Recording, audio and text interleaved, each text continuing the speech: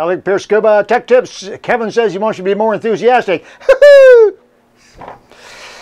I'm going to talk to you today about a visual examination. Now, there's a reason why I'd like to do this, guys. Just a short while ago, I forget which tech tip it was, but I got a comment from a fellow, and in his comment, which was very a, a good good comment, covered several important points, and, and they're points that I've heard before. Excellent comment. I forget who it was. Thank you, though. But in there, he, one little line that I read, and it made me wince. That's a wince. He said, visual examinations are a ripoff by dive stores. Okay, everybody's entitled to their opinion. That's what's called free speech. They can say whatever they want. You don't have to agree. They can't force you to change your mind, but they can say what they want. And this is what he said.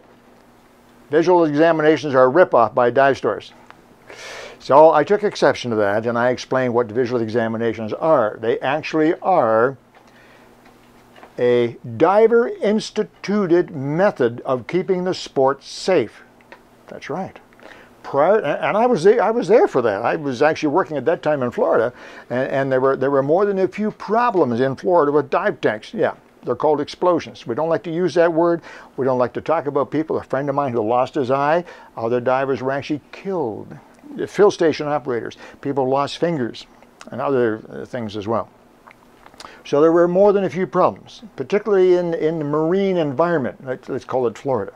And so the dive industry got together. Dive store operators, certification agencies, they, they got together. This wasn't a formal thing, but they had to do something about it. So there were committees formed, and, and they decided, you know what, because of the nature of the sport, even though other applications of high pressure cylinders do not require it, we should have visual examinations every six months in Florida, usually six months. Throughout the industry worldwide, it has been decided that one year is sufficient to have a visual examination. And the visual examination is exactly what the word says.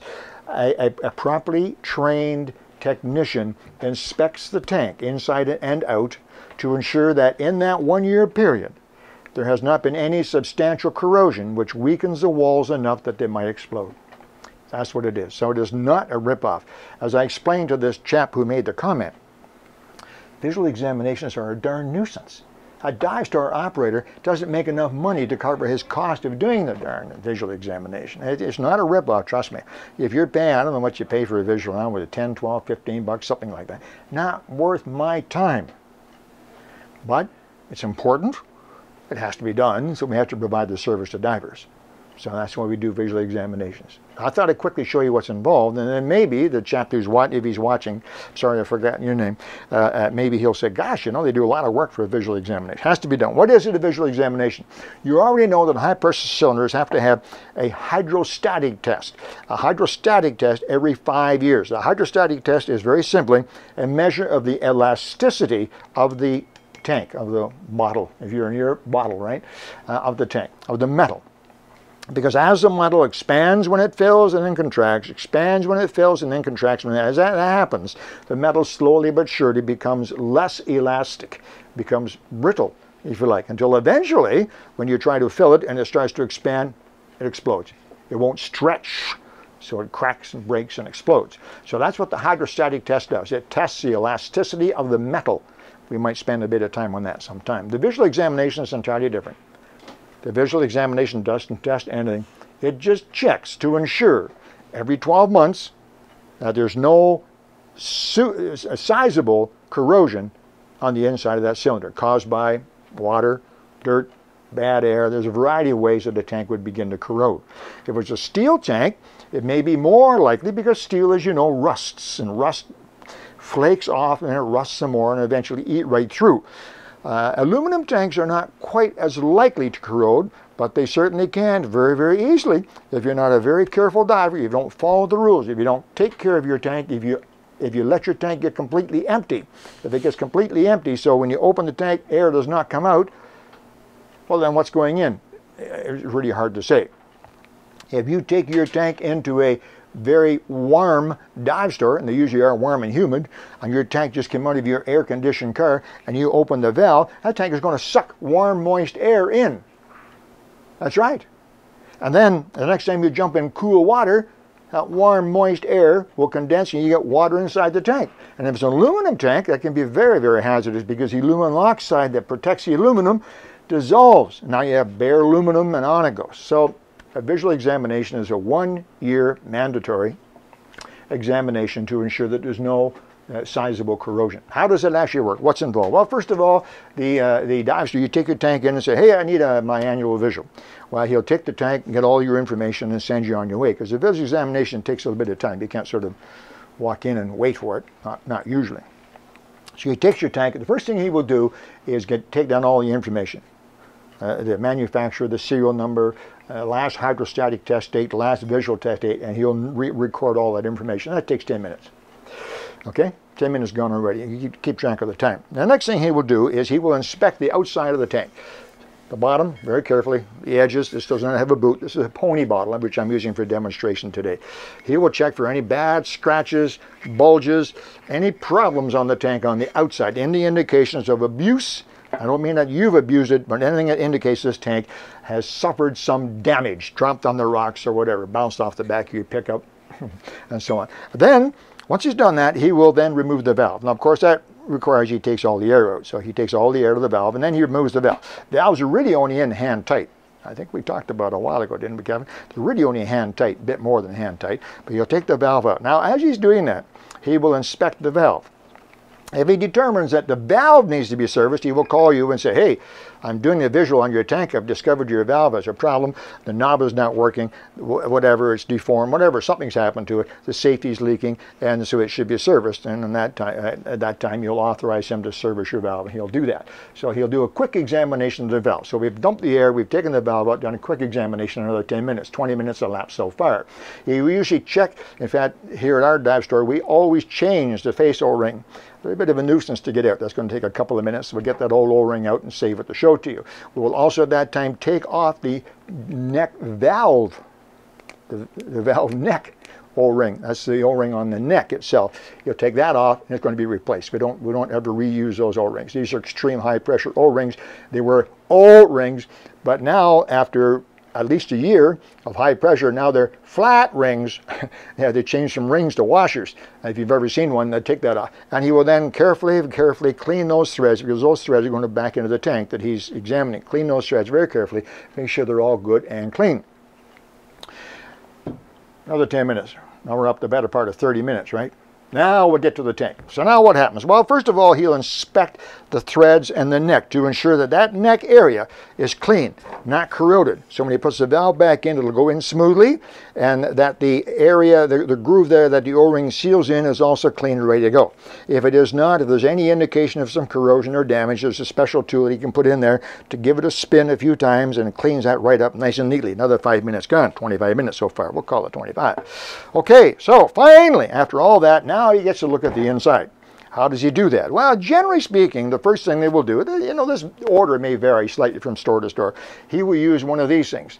This is a tank inspection light. That's right. It's a proper, proper light for inspecting tanks. Right? This is not a, a candle on a string. And this light is very, very bright good and bad.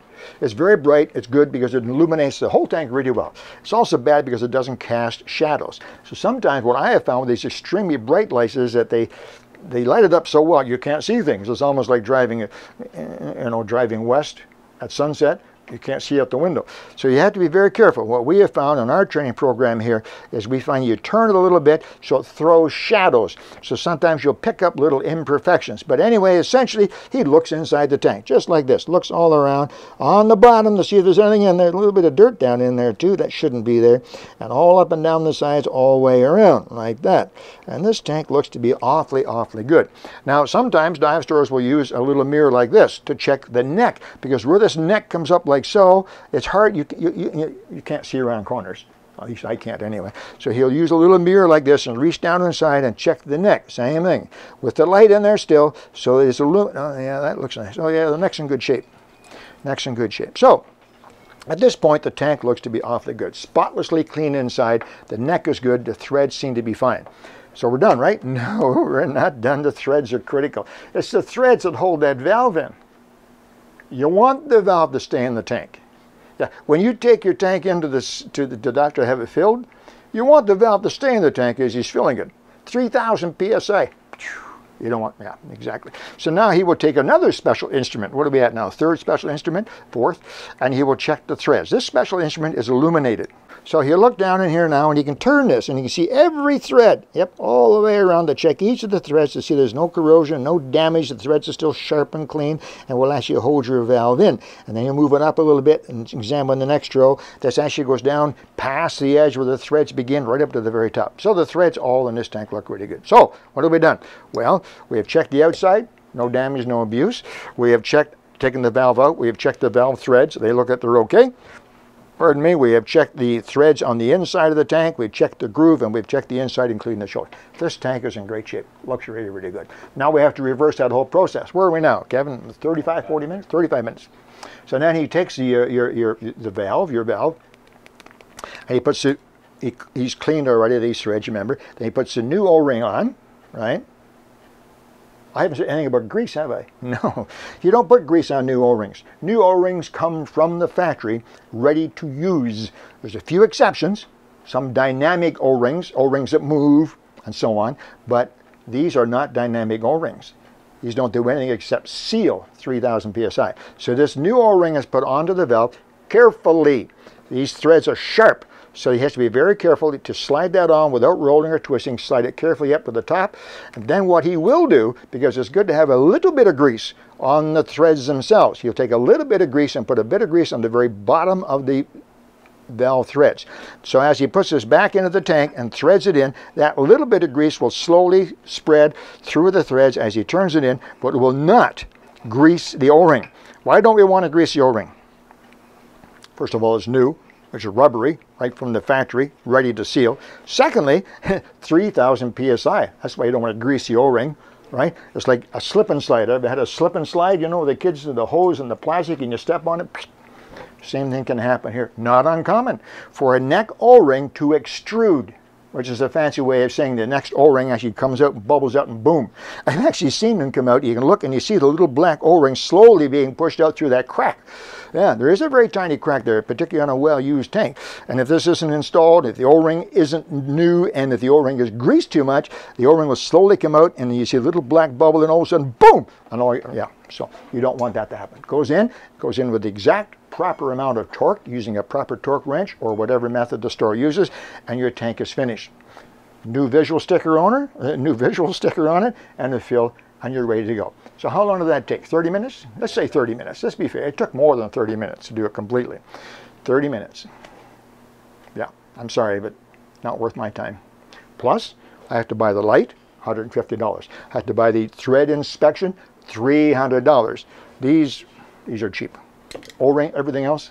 Now guys, please, please, don't complain about visual examinations. They keep the sport safer. They keep us all safer. And it's not a money grab. Not in my opinion anyway, and I've done a million visuals. Okay. So next time you go in for a visual, say thanks to the dive stone owner. Say thanks for two reasons. He's doing it for you. And secondly, who gets hurt if a tank is not in good shape and the tank has a problem? A tank is Who gets hurt? The dive store operator, not the diver. Once the tank is filled and on your back, no problem. It's when it's being filled. Let's think about that next time. anyway, that's how a visual examination is done. I hope that was interesting. I have to go and look at this tank now because this tank apparently has a crack in it. Yeah, so I get the thread examiner out and apparently there's a crack in here. One of my staff found it. So we'll find out whether or not this tank is going to pass the visual examination. You don't want this tank. Yeah, we found it. Well, there you go, Alec Peirce, Tech Tips, how to do a scuba tank visual. I hope that was interesting for you. If you have questions or comments, send them in. I love it. Bye-bye.